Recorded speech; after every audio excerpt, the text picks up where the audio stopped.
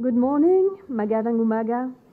Let me first greet you collectively, dear friends of international law of the sea. I am delighted and honored to be with you today as ambassador of the French Republic, but also as member of the European Union. As our eminent speakers already pointed out, the stakes couldn't be higher when it comes to upholding a rule-based order in South China Sea.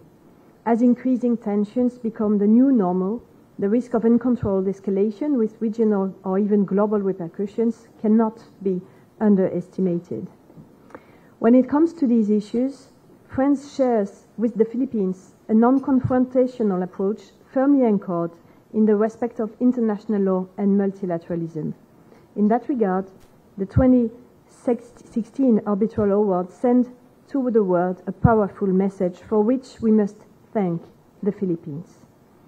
It became a building block of a reaffirmed rule-based international order that we all benefit from. Unfortunately, as the news regularly shows, we cannot take the prevalence of the rule of law for granted. It is being challenged in many ways, and it undermines our long-term collective peace and prosperity.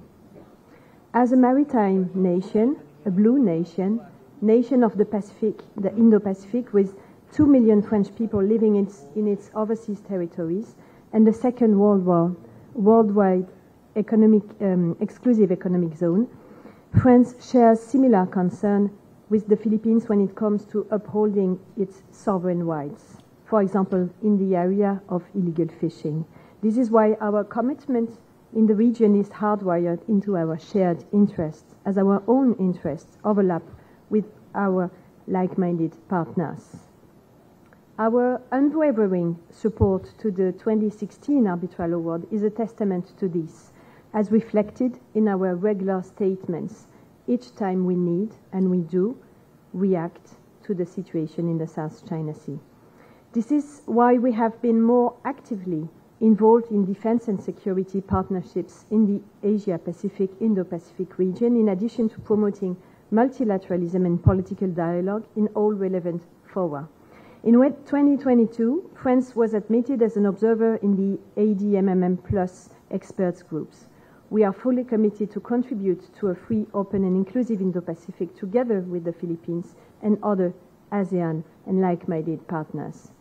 Six years ago, 2018, the launch of a French Indo Pacific strategy underlined a new holistic approach to our interests in the region. Defense of sovereignty, global commons, and economy are the main pillars of this strategy, all meant to be supported by political dialogue, multilateralism, and again, strict adherence to the rule of law. In that regard, the 2016 award is remarkable as it completely addresses all these issues. Name a few. Declaring the nine dash line contrary, to the UNCLOS, it confirms both Mischief Reef and Second Thomas Shoal form part of the exclusive economic zone and continental shelf of the Philippines. It condemns the 2012 moratorium on fishing in the South China Sea, falling within the Philippine EEZ, and upholds the right of Filipino fishermen to engage in traditional fishing in Scarborough Shoal. It points out the failure to prevent Chinese fishing vessels engaging in harmful harvesting activities of endangered species at Scarborough Shoal, Second Thomas Shoal, and other features in the Spratly Islands, including through island building. More importantly, perhaps, it points out the total disregard of good seamanship and neglect in any precaution regarding the international regulations for preventing collisions at sea. Daily news keep on reminding us these issues only worsened since then, requiring increased vigilance and resources from all like-minded partners. In this context, France made a clear choice to significant, significantly step up its bilateral relation with the Philippines. The recent launch of Blue Nation initiatives reflects our Indo-Pacific strategy diversified approach in the maritime domain. We are working closely with the Philippines, Philippine authorities to prepare the 2025 United Nations Ocean Conference that will be held in Nice next June. As the 2016 award pointed out, environment protection and the upholding of sovereignty are the two sides of the same token and benefit from each other. In that regard, undoubtedly, the Philippines are a first-rate witness the world should hear more about. The development of our defense cooperation perhaps best show the reinforced mutual trust between our two countries stemming from the decision of both President Macron and President Marcos to strengthen our strategic partnership. Accordingly, the Minister of Armed Forces, Sébastien Lecornu, came for an official visit last December 2023. It is telling to recall that it was, in fact, the very first visit of a French Minister of Armed Forces in the country, here in the Philippines. Together with Secretary Teodoro, a letter of intent was signed to design the way to, stronger, for, to a stronger defense partnership in all areas of strategic, training, industrial domains, etc. This letter of intent knows quite a high speed in, it, in the implementation process.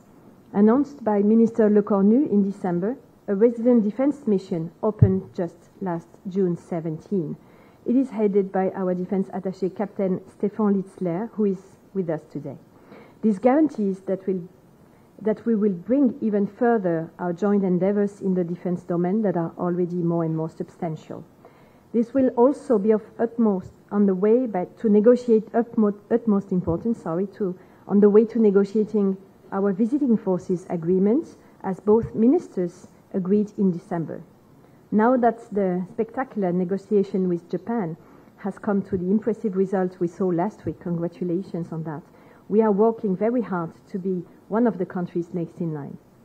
This year, France served for the first time as an active participant in the bilateral maritime Balikatan exercise through the participation of the frigate Vendémiaire. A few, few weeks later, the French Navy's Bretagne destroyer made a port call in Manila and at the end of the, the current month, month of July, the Pegase mission will stop over in the Philippines for the very first time with the deployment of a French air and space force contingent. contingent. This will strengthen our joint commitment to uphold the freedom of navigation and overflight, essential to keep an open and inclusive Indo-Pacific region. These operational activities result from more regular interactions between our authorities. In terms of those uh, French operational activity, let me mention that the Philippines ranked third in the Southeast Asia region this year for us. This is a remarkable change that shows how much Paris has been paying more and more attention to the geopolitical trends around here and the unique position of the Philippines in that regard. The partnership between France and the Philippines, two maritime blue nations of the Pacific region, who share the values of democracy, the rule of law, and promote multilateralism and international law is stronger and stronger, and you can count on us.